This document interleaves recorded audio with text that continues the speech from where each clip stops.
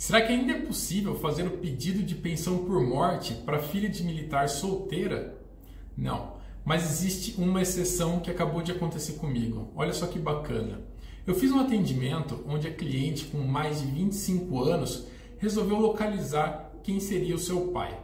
Depois de muito procurar, ela descobriu que ele faleceu no início dos anos 90 e era um policial militar. Ela então entrou com um processo de reconhecimento de paternidade que foi deferido depois do exame de DNA.